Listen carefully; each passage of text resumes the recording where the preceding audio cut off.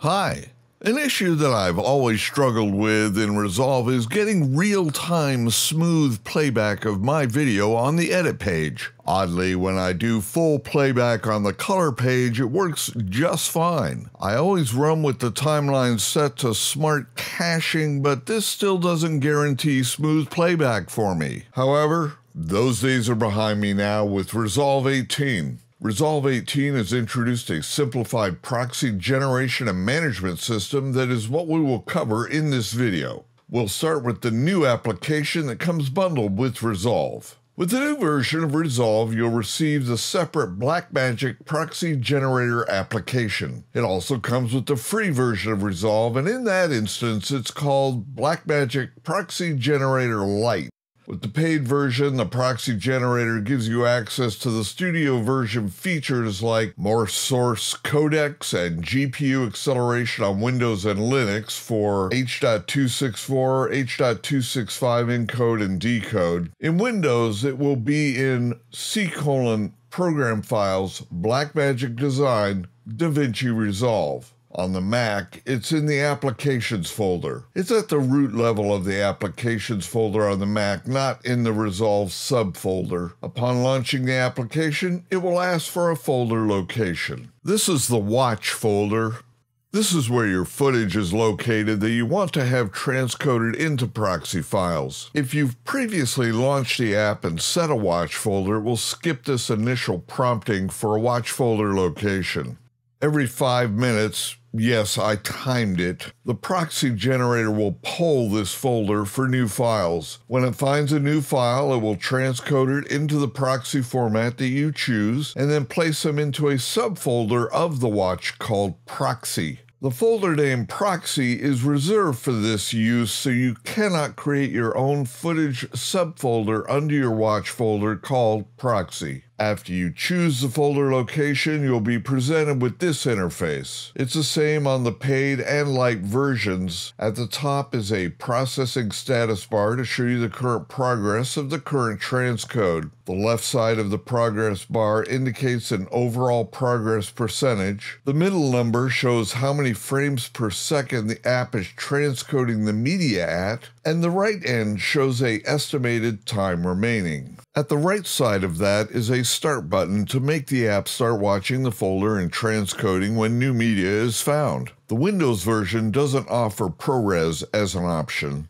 we have three options that we can choose as transcode formats. The first is H.264 1080p half res. I'm not sure why they say 1080p for that option since it produces a file that is half of that at 960 by 540, but technically I guess it's accurate. This is followed by the full resolution version of that setting. Below this is the same 1080 resolution but offers a 10-bit H.265 codec. On the Mac, you're also offered ProRes 422 at 1080p as well.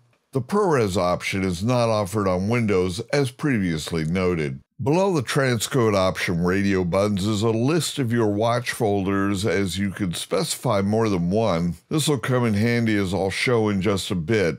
It displays the disk volume name, the name of the watch folder, and the current status of that watch folder. It doesn't show the entire path, just the folder name. While the application waits for new media to show up, it will show waiting. If it has fully processed the watch folder, it will show completed in green. At the bottom of that list is a space status bar that shows how much disk space will be needed to create the current set of proxies. At the very bottom of the UI is a set of buttons to allow you to add a new watch folder, remove the currently selected watch folder or watch folders, or show the location of the currently selected watch folder in the Finder on the Mac or the File Explorer on Windows. To the right of those is a button to delete the current set of proxies in the proxy subfolder of the currently selected watch folder. And finally, at the far right is a button marked Extract Proxies. This button will open a file location browser and will copy the current set of proxies from the currently selected watch folder to whatever destination folder you select in the file browser.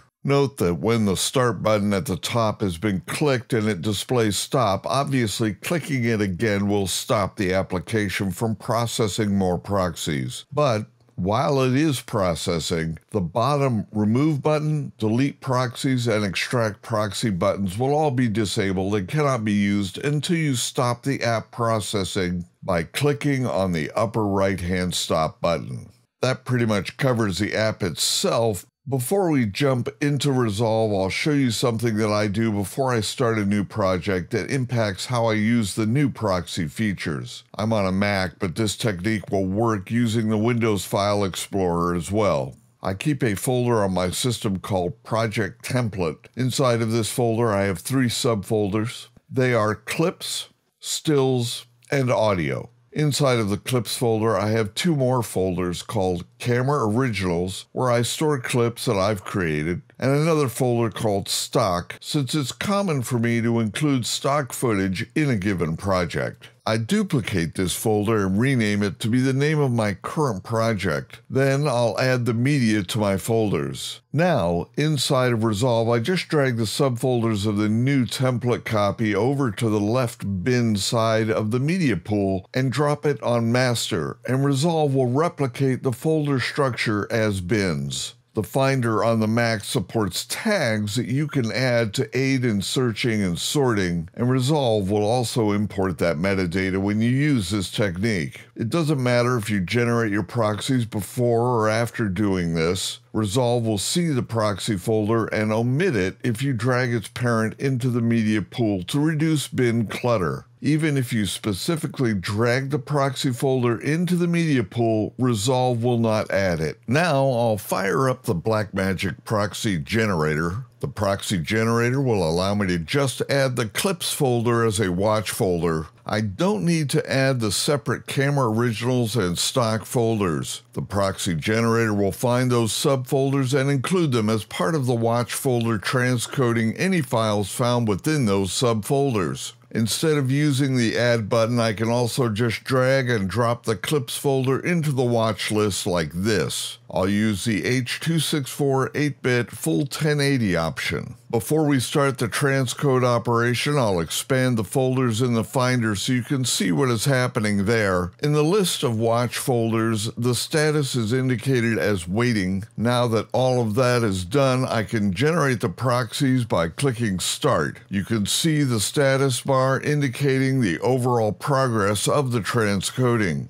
The status in the watch folder will say processing and the current file number and total like this. Once it's finished, it'll say completed in green as you see here. Note that the app generated separate proxy folders for each of the subfolders in clips that contain the newly created proxy clips. The camera originals were BRAW files, and as you can see, they were transcoded to QuickTime MOV containers, and the Mac Finder status shows that they're encoded as H.264. Okay, let's get into Resolve and see how Resolve manages these files. Inside of Resolve, note that in the media pool, I do not have any proxy folders included cluttering up my bin structure. Resolve sees the reserved folder name of proxy and automatically will use it without any intervention by the user. Resolve will also use the proxies by default instead of the camera originals. I've already created a timeline with some of the footage for this demo.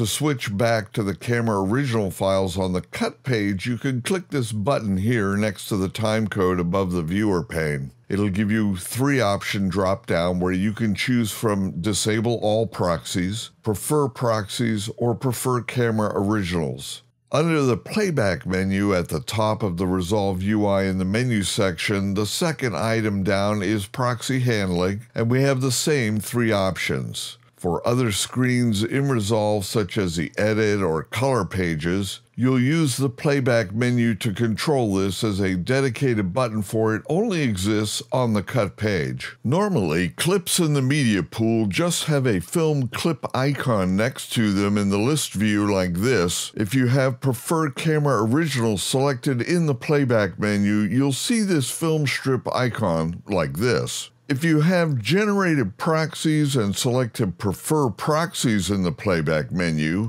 The icon will change to this film clip with a still camera behind it to indicate that proxy files are currently active and in use. I should also point out that if you have Prefer Camera Original selected, you can at that point import the reserved proxy folder into the media pool since you're telling Resolve to ignore proxies. If you're using thumbnail view in the media pool, there will be no icon if you have Prefer Camera Original selected, but there will be the film clip and still camera icon in the lower left corner if you have Prefer Proxies selected. On the edit page here, I have my timeline, and you can see I have a clip of a light meter on a little table here. And this clip is not color corrected, it retains its low contrast and saturation look of the log format that it was shot in.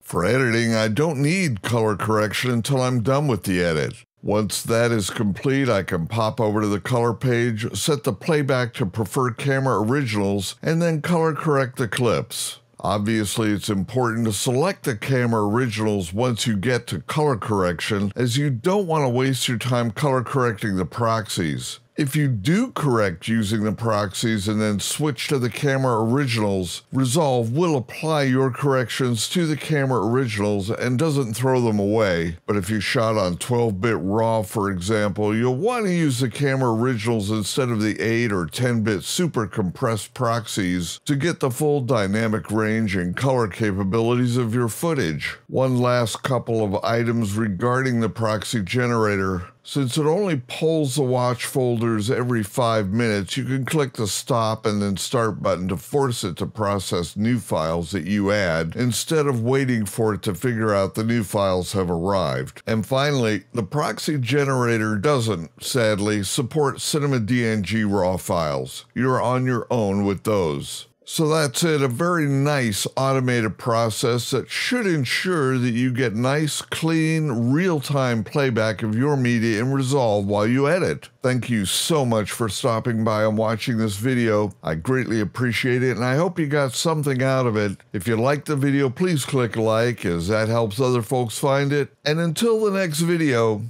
take care.